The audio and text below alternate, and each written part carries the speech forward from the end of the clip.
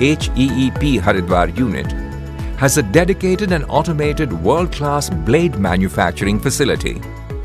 The facility, capable of producing high-quality products in minimum possible time with best accuracies, is a perfect example of global technology assimilation in Indian heavy industries. With more than 40 years of experience in robust and proven blade construction, the facility manufactures intricate shape, axially and radially twisted profile, high-efficiency 3D S and F profile blades. Freestanding LP turbine blades of length up to 1300 mm are also being manufactured here.